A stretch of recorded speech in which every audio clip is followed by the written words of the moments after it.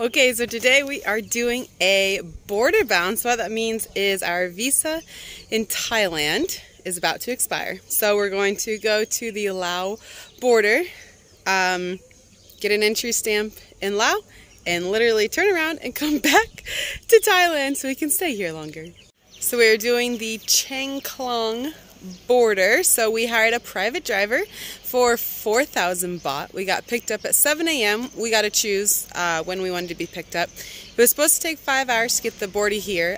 Our driver is like a lead foot. So we got here in like less than four hours. Um, the roads are very windy, very hilly. Um, but we're here at the border there was nobody in line. So, I mean, we literally just walked right through immigration. We got our departure stamp. Um, you cannot walk across the border here, it's illegal. So, we paid 25 baht each um, for a shuttle bus. So, now we're just waiting for the shuttle bus to leave. I'm guessing it'll leave once it's full. There's probably maybe 10 people in line. So, I don't know how long it'll take before we get to go. But that's the status right now. So there's toilets here while we're waiting for the, the shuttle bus. Um, these are the shuttle buses. So stay tuned for how long it'll take us to get across.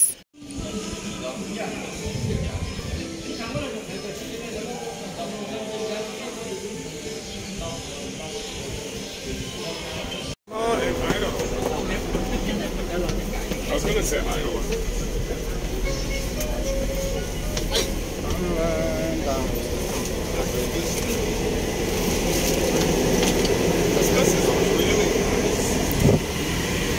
Oh,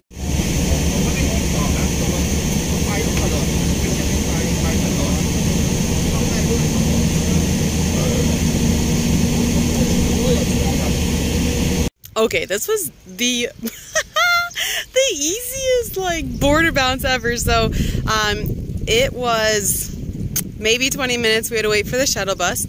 We got over here to the Lao border. We did not do the e-visa ahead of time. We just did visa on arrival.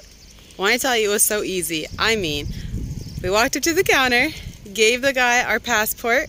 We paid 1800 baht each he took it and within five minutes gave it back to us, already had it stamped. So he did not, we didn't have to fill out any paperwork.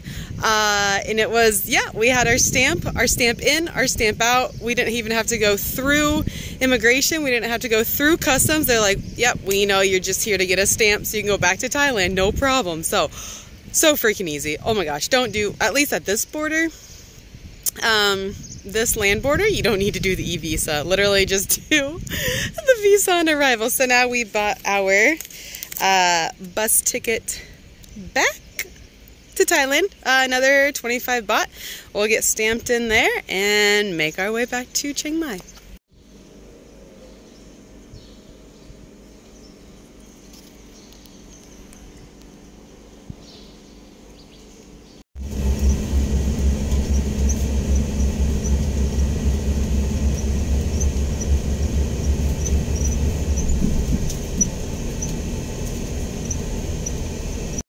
Okay, we just got done on the Thai side. So uh, we got another visa exempt. Super quick, super easy, start to finish. Uh, from the time we arrived at the border to now was an hour and a half.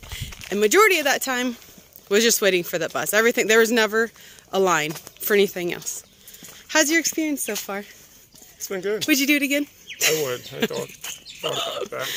Okay, now we gotta find our private driver. Oh, I can actually show you our vehicle. Okay, hold on. Okay, here's our whip, our ride. so yeah, 4,000 baht. This whole thing is ours, comes with a private driver. Okay, we're going back to Chiang Mai now. It'll take like hmm, four to five hours. Most people take five. Ours, our lovely driver, will get there in four, maybe even quicker. But yeah, check out how nice this is. Oh yeah, of course, look at that. I brought my pillow.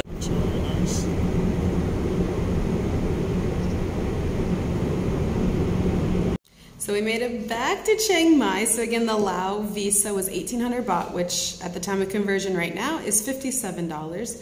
We paid 4,000 baht for our private car with a driver. So that is the equivalent right now of $117. So we use Sea Fan Car Rental and I just booked them through their Facebook page, just through Messenger. Um, so you have to pay 2,000 baht ahead of time for the deposit. You have to book at least one day in advance. Um, and then the remaining balance, the other 2,000 baht, you pay directly to the, um, the driver. So if I haven't said enough already, this border bounce was so freaking quick and easy. I would do it again in a heartbeat. So as always, like the video, subscribe for more unique travel adventures, leave me a comment. Are you planning to do a border bounce? Do you prefer to do your visa runs um, by flying to a different country? Let me know. In the next video, I'll be right here in three, two, one.